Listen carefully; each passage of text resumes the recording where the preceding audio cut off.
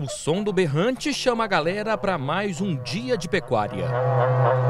Aí eu vejo o verso mais ou menos assim.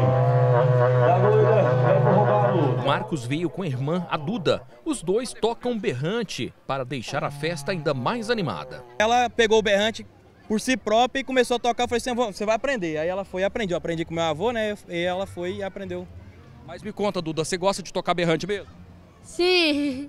Ao olhar assim, dá para perceber que o fim de semana foi de muito movimento no Parque de Exposições da Nova Vila. Famílias inteiras aproveitam para passear. Durante o dia, atrações como uma volta de trenzinho vai bem. Mas o espaço mais disputado foi o dos pavilhões com animais. Wesley veio com a esposa Letícia e as filhas Luísa, de dois anos, e Camila Cecília, de sete meses. Vamos dizer, esse é um passeio bem de família aproveitar a estrutura, mostrar os gados com as crianças e aproveitar o domingão de sol, né? Veja só o Paulo Henrique, de 11 anos. Ele veio ao estilo agroboy. É bom ver os animais, é legal, é diferente. Geralmente quem mora na cidade grande não tem muito a oportunidade de ter o contato diretamente com esse ambiente agro, passar a mão nos animais, desses bovinos da raça Nelore. E é nessa hora que muita gente aproveita para registrar o momento através de uma foto.